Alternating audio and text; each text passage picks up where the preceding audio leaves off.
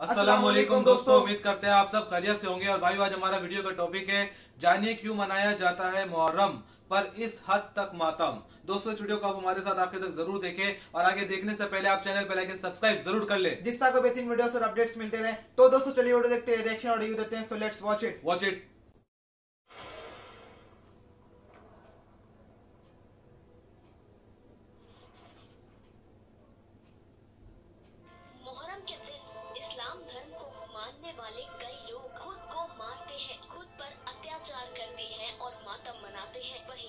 वहीं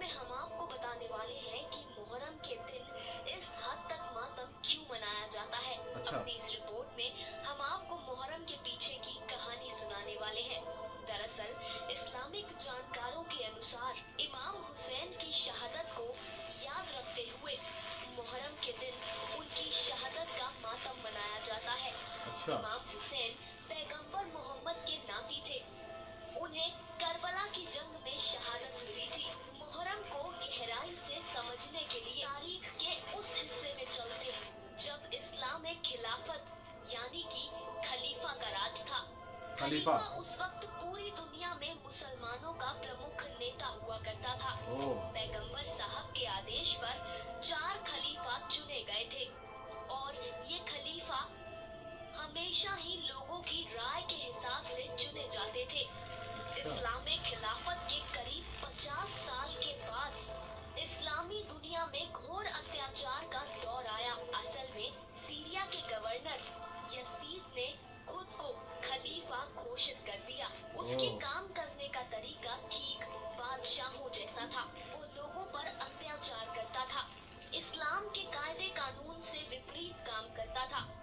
वहीं इमाम हुसैन यानी कि पैगंबर मोहम्मद के नाती ने उसे खलीफा मानने से इनकार कर दिया।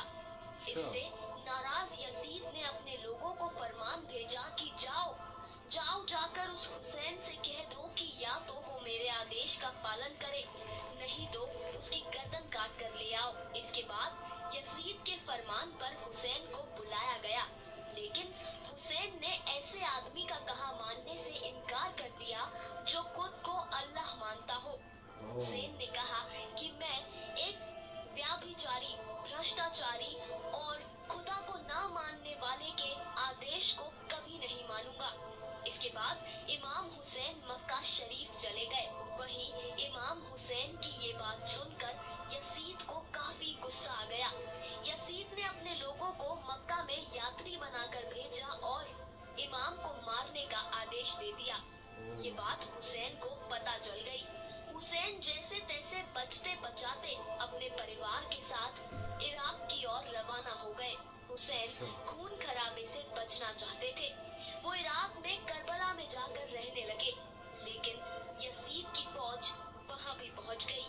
तब हुसैन ने उस फौज से कहा कि तुम मुझे एक रात की मोहलत दो ताकि मैं अल्लाह की इबादत कर सकूँ। इस रात को रोज़े अशुरा कहा जाता है। हम्म। उस पूरी रात हुसैन ने अल्लाह की इबादत की। अगले दिन जंग हुई।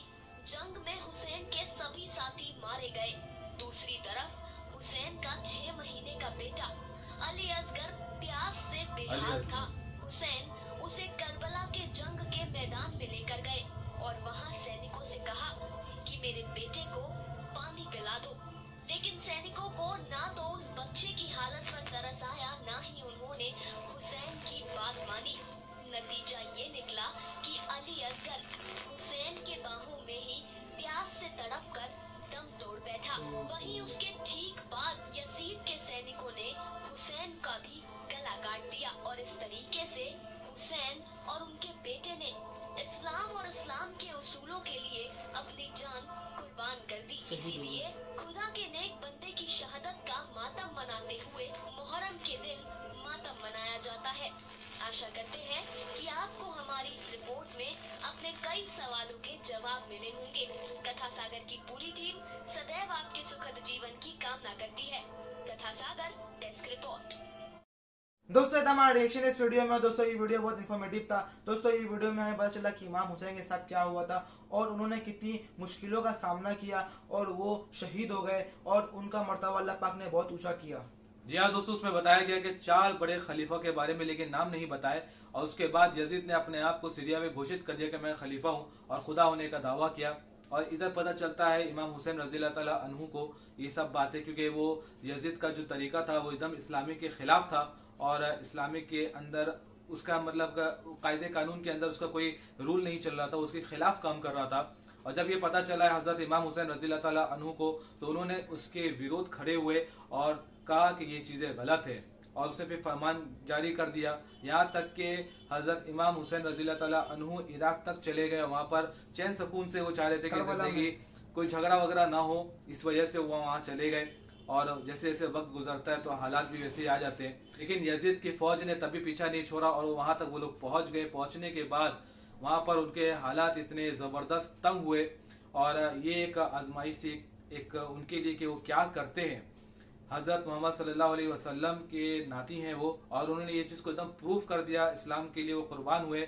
और इतनी बड़ी फौज के सामने जब वो खड़े थे, और समझ लीजिए कि उनके जो बेटे अली असगर को वो लेके आए कि वो पानी से तरप रहे हैं, लेकिन उन फौज को जरा सा भी रहम नहीं आया कि वो कम से कम कुछ पानी का कुछ कतरा दे दे। नहीं, हालाँकि उनके बच्चे ने हज़रत इमाम हुसैन रज़ी अनहू के गोदी पे दम तोड़ दिया। और, भाई, बहुत ही सख्त बात है ये। अच्छे अच्छे आदमियों की हालात अंदर से खराब हो जाती है भाई। और किसी बच्चे अपने ही बच्चे की देखना कि उसकी मौत हो गई मतलब शहीद हो गया मर गया।